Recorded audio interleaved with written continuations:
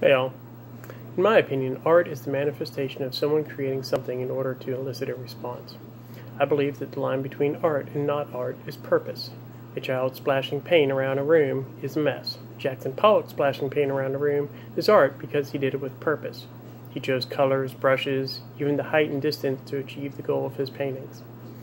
The value of art is based on perception. If someone perceives value in something, then that object has value. A Jackson Pollock painting is splattered paint.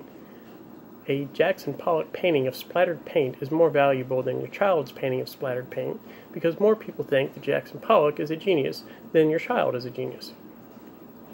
Art is used as an attempt by the artist to get a message across. That message varies depending on the target audience and medium used.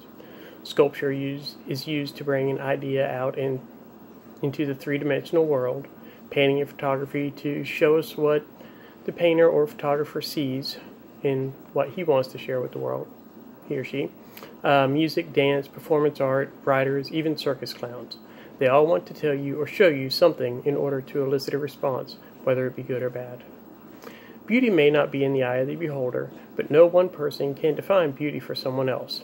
In the example of the second video, using a trash heap as an example of something that has no beauty is, in my opinion, a bad, a bad example. At the end of the day, the workers and their supervisors that made that pile of rubbish may have felt a sense of pride and looked upon that heap as a beautiful sight. No one else would, but they might. I doubt they or anyone else would call it art, but to some it may be a beautiful sight indeed.